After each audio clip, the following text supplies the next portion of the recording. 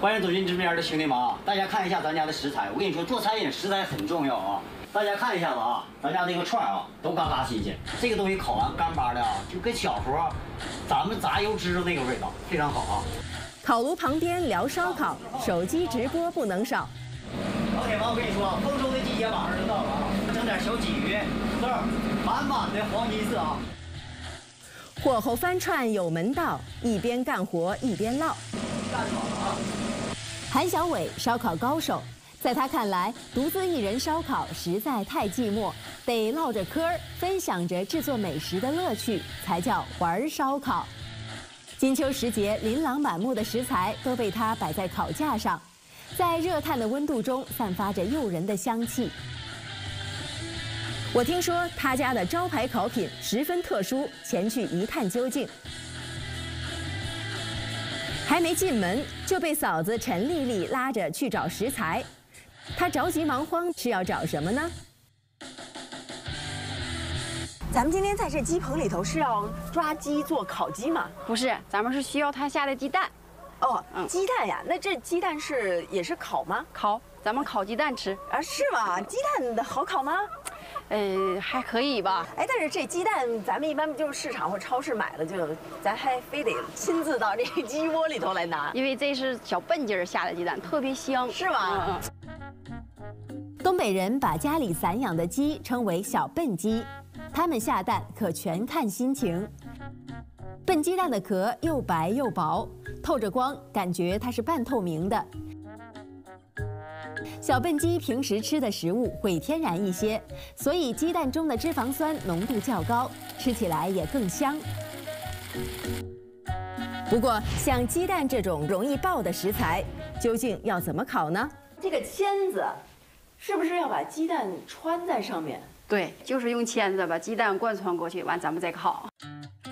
用铁签穿生鸡蛋，真的能不把鸡蛋弄碎吗？教你啊，就这样手贯穿，给它转，哦，对，一转，往这边一使劲，贯穿出去，整一个。啊，是这样，我以为是这样竖着这样穿上。对，因为我们还有再穿一个第二个，嗯还要穿两个。对对就是从这头是吧？对就是两根签子穿一一个鸡蛋。对对对，两个一个还好好穿，两个确实是有点啊，难啊。等于你把所有鸡蛋一边儿先穿上，然后另一根签子再再穿第二那边。太难了。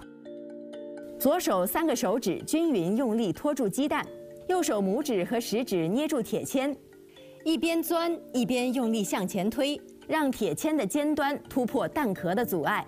其实这鸡蛋它表面特别光滑，所以你看，就是它可能就对对一下就就就滑到边儿上去了。所以说两手一定要使劲。看着我试了半天没掌握要领，陈大姐又告诉了我一个小窍门。咱们手要离签的也近一些，近一些啊对，就这么先往上顶，哦对，一顶，先给它顶个小眼儿。找到窍门，我本以为胜券在握，不料对，哎呦呦呦呦呦呦呦呦呦！看来任何一门手艺的游刃有余，都需要大量的经验来堆积。当连续失败多次之后，我似乎也找到了点手感。这么往，哎，对，哎，成功了，对，成功了，成功了，老紧张了，你知道吧？就这样就提了起来就不怕了啊，哎呀，真是，对你看，这就成功了。先给它，哎，对，这样只要咔嚓一声一响，你咔嚓往里一声没有对第二响就对对，它这个接接的使点劲，往里一转，对，对，到前面还是一顿，哎对呀，，过来了，出来了，但是这俩不太平行，你看，发现了没有？用铁签穿生鸡蛋，绝对算是高难度挑战。穿第一个孔时要缓慢坚定，不能心急，让铁签稳定地钻入。等到穿第二个孔时，就不能拖拉，让铁签干脆地冲出。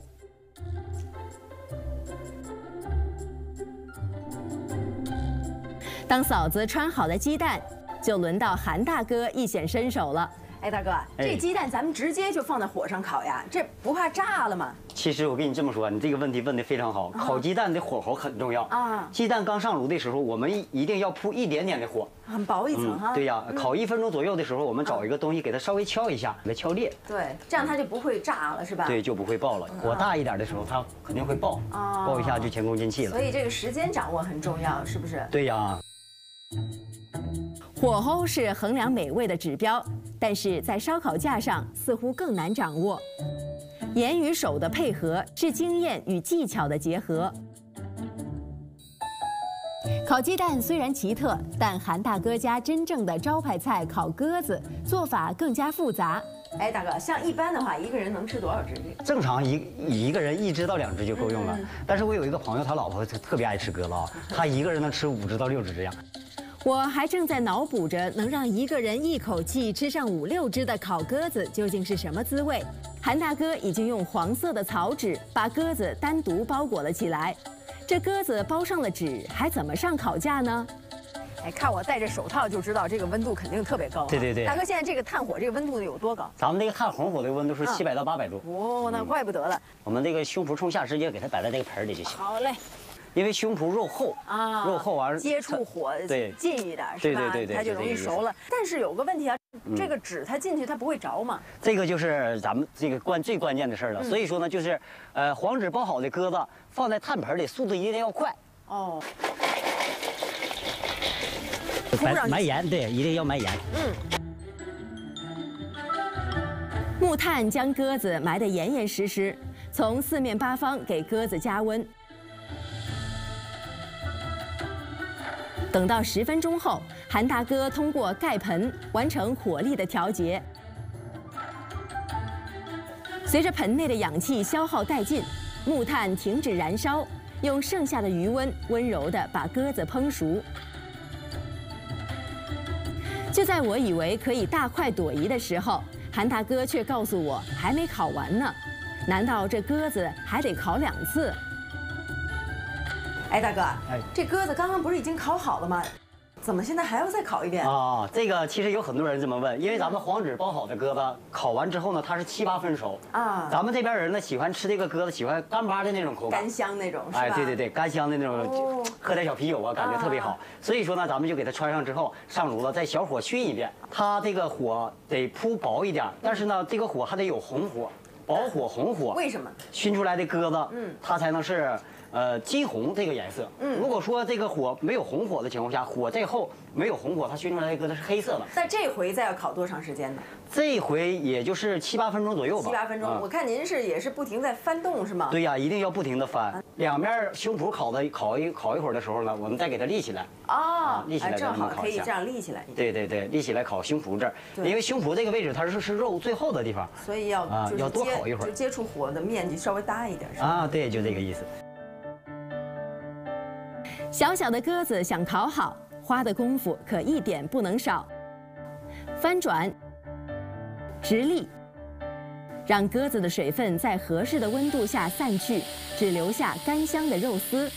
而吃烧烤更是不能浪费时间，这边下烤架，那边速上桌，趁热吃，才能算是不辜负食材的好味道。别烫着啊，哎这两个对有点热刚好。还真是哦，夸夸掰就完了。夸夸，对对，伴着这声儿，你知道吗？对对，哎，这撕下来，能看一下啊，这个鸽子它是有双重肉，嗯，这上面是一层肉，完了贴着这个胸脯骨这儿，它下面还有一层肉，啊外边这这层肉呢就特别干，嗯，特别干，吃的特别香那种感觉。这现在觉得这个鸡蛋还挺轻的哈。东北有一个老话是怎么回事呢？就是越新鲜的鸡蛋越不好扒皮。对啊，证明这个不好扒皮的鸡蛋，说明这个鸡蛋好特别新鲜的鸡蛋，嗯尝一尝。嗯，媳妇儿，媳妇儿给你吃这个。嗯，哟，真是秀恩爱呢。